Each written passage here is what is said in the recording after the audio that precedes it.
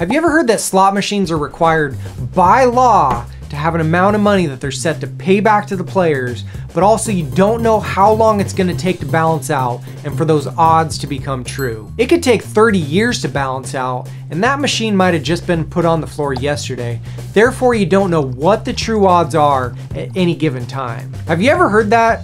Because that statement is completely wrong. I'm gonna explain why in this video, which is episode 14 of my series of everything about slot machines. I teach slot machines and gambling from the perspective of like math and statistics, and I'm hoping to clear up some of the BS that I see out there. If you like these slot machine videos, don't forget to hit the like button and please consider subscribing. Earlier I said that my opening statement is completely wrong, but let's break down all the reasons why. First, slot machines do in fact have a percentage that they're designed to pay back. People usually say that they have to be above the minimum that's set by the state, but by and large, the state's minimum payback percentage is so ridiculously low that no casino would ever dare set a machine anywhere close to that. In Nevada, the minimum set by the state is 75%. And there might be some exceptions, but I think the absolute minimum that a designer even manufactures a machine is in the neighborhood of 85%. The minimum that casinos even set the absolute worst machines to is like 87% and most machines are set to above 90%. So the state's minimum of 75% isn't even remotely a factor. They can't set machines that low because they don't even make them. So really the casinos can set the machines to anything that they want. The next thing we need to understand is the machines aren't trying to hit any percentage. Let's say the machine's set to 90%.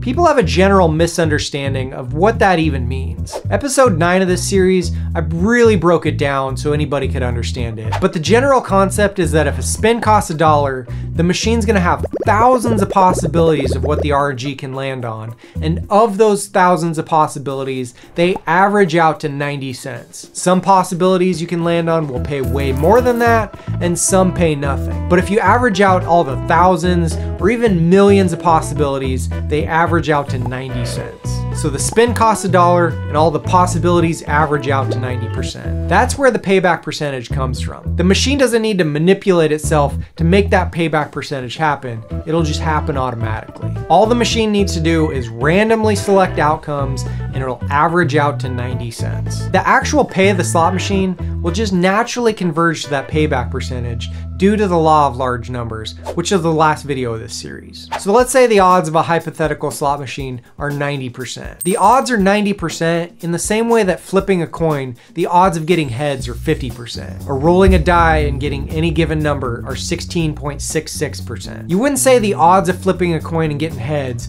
are 50%, but that's only over thousands of flips and you never know how long it'll take for the odds to become 50%. That statement just doesn't make any sense. The odds to get heads are 50% on this flip, the next flip, They'll be 50% tomorrow. The odds are always 50%. The results might change, but the odds never do. It's the same thing on the slot machine. The expected value of the spin are 90%. The odds will be 90% on this spin, the next spin, the one after that, it'll be 90% tomorrow. It's always gonna be 90%. From the moment the machine is put on the floor, the odds will always be 90%. The odds don't balance out to 90%. The odds just are 90%. So maybe I'm just speaking technicalities, but it's the results that change, not the odds. So then that brings us back to the question, how many spins does the state require before the results of the machine has to hit 90%? There's two things why that statement is false or kind of doesn't make sense. First, you'd need some kind of tolerance for that. If over the life of the machine, the machine's paid back 91%, but it's only been a month, is that close enough? What if over the life of the machine, it's 89.5%, but it's been like five years? What if it's 90.0001%,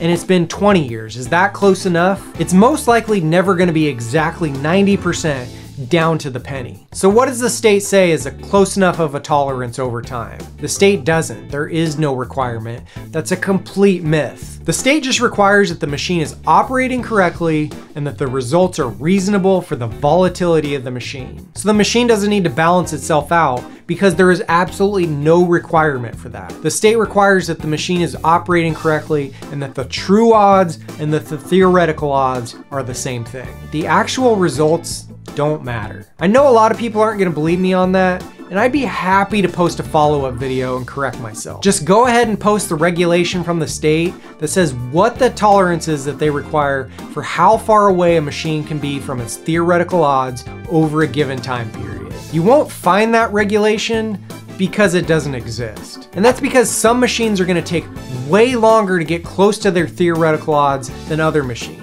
You're gonna have to watch the next video in the series to fully understand that. Let me know in the comments if this is all making sense and if you've ever believed the myth of balancing. Don't forget to hit the like button, please consider subscribing. Before your next Vegas trip, get educated. Thanks for watching.